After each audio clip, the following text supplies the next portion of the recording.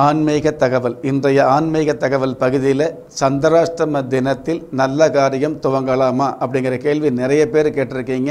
இந்த சந்திராஷ்டமம் அப்படிங்கிற விஷயம் வந்து நிறைய பேர்த்துக்கு வந்து தேவையில்லாத பய உணர்வு இருந்துகிட்டு இருக்குதுங்க. நம்ம நம்ம நிகழ்ச்சியில் நிறைய முறை சொல்லியிருக்கிறேன். என்னுடைய வெளிநாட்டு பயணங்களில் ஆன்மீக சொற்பொழிவு நிகழ்ச்சியில் நிறைய முறை இதனுடைய விளக்கத்தை சொல்லியிருக்கிறேன். இருந்தாலும் இந்த நிகழ்ச்சியில் நேரம் பத்தாதனால சுருக்கமாக சொல்கிறேங்க சந்திராஷ்டிரமம் அப்படிங்கிறது இருக்கிற ஒன்பது நவ கிரகங்களில் சந்திர பகவான் எட்டாம் இடம் என்று சொல்லக்கூடிய அஷ்டமஸ்தானத்திற்கு வரும்பொழுது அது சந்திராஷ்டிரமம் தான்.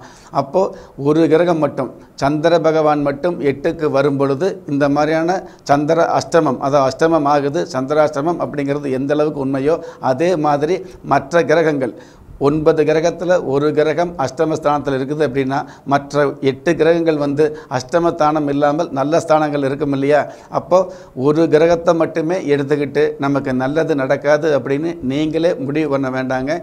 காலை நேரத்தில் எந்த மாதிரியான முடிவு எடுக்கிறீங்களோ எந்த மாதிரியான ஒரு எண்ணம் உங்களோட- உங்களுடைய மனசில் உருவாகுதோ அதுதான் அந்த நாள் முழுவதும் இருந்துக்கிட்டு இருக்கும். நீங்கள் காலையில் எழுந்திருக்கும் பொழுதே கண்டிப்பாக இன்றைய நாள் நல்லா இருக்கும் அப்படிங்கிற ஒரு வி- ஒரு விஷயத்தை உங்களுடைய மனசில் பதிய வச்சுக்கோங்க.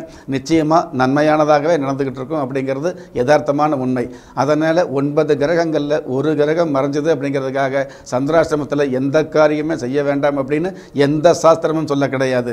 என்னை பொறுத்தளவுக்கு இந்த எட்டு பத்து வருஷத்துக்குள்ளாகத்தான் இந்த சந்திராஷ்டமத்தை பெருசாக எடுத்துக்கிட்டு எல்லோருமே பயந்துட்டு இருக்கிறோம். அப்படி பயப்பட வேண்டாங்க. விவரம் தெரிஞ்சவங்க விவரம் தெரியாதவங்கெல்லாம் வந்து நிறைய பேர் வந்து பார்த்தீங்க அப்படின்னா சந்திராஷ்டமத்தை பெருசாக எடுத்துக்கிறது கிடையாதுங்க. ஏன்னு கேட்டிங்கன்னா மாதத்தில் இரண்டரை நாள் சந்திராஷ்டிரம் பார்த்துட்டு இருந்தீங்க அப்படின்னா நமக்கு எந்த வேலையுமே செய்ய முடியாமல் போயிடும். இருக்கிற காலகட்டத்தில் நேரம் பத்தாமல் இருக்கிறதுனால கால நேரம் பார்க்காமல் யமகண்ட நேரத்தில் கூட நீங்கள் உழைக்க எடுத்து உழைக்க கற்றுக்குங்க உழைக்க கற்றுக்கிட்ட ஒவ்வொரு மனுஷாலும் இந்த கலியுகத்தில் பிழைக்க கற்றுக்க முடியும் அப்படிங்கிறது யதார்த்தமான உண்மை. அதனால் சந்திராஷ்டிரமம் கண்டிப்பாக பாதிக்கிறதில்ல.